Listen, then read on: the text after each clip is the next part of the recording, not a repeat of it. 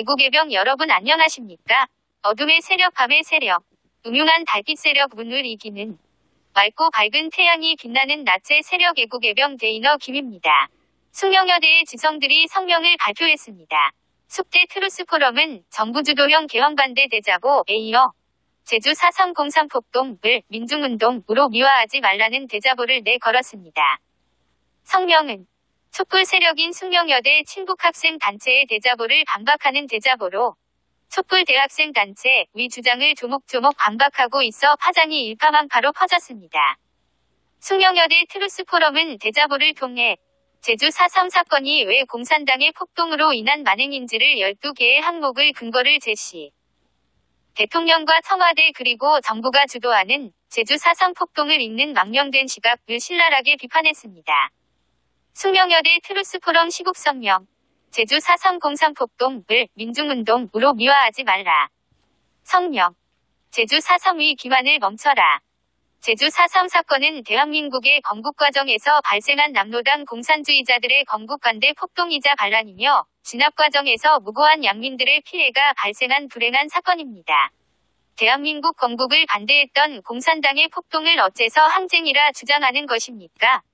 남파간첩, 인민군 사단장, 폭도사령관 등 사상 폭동에 책임이 있는 폭동 주동자들은 결코 사섬의 희생자들이 될 수 없습니다. 이는 무고하게 희생되신 사상 피해자분들을 모욕하는 것과 같습니다.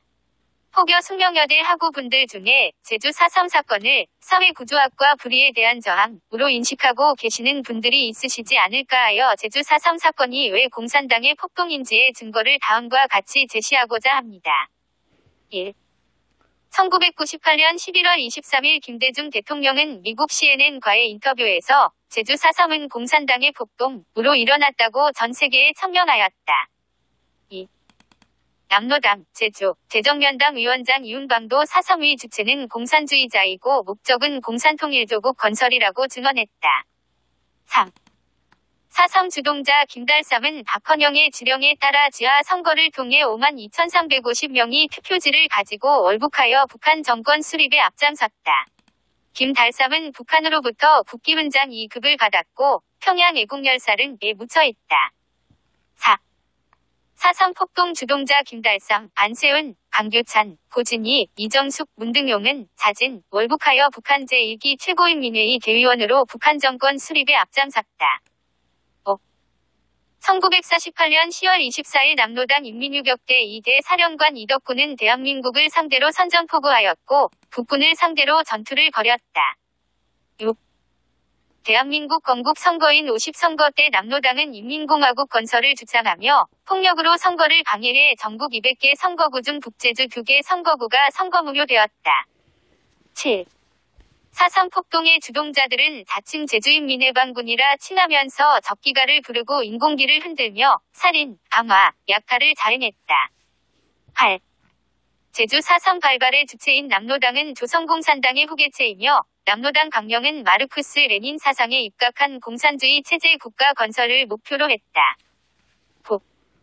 남로당 제주도당은 공식 행사 때마다 항상 스탈린 원수 만세, 김일성 장군 만세라는 구호를 외치며 그들이 공산당의 후예임을 밝혔다.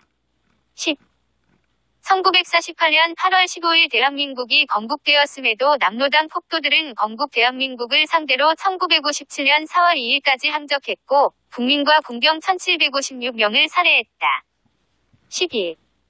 사상 폭동 남로당 세력들이 남긴 유일한 문서인 제주도인 민유격대 투쟁보고서에는 1948년 3월 중순경 상부로부터 무장 반격 지령을 받아 폭동을 일으켰다고 밝히고 있다. 12.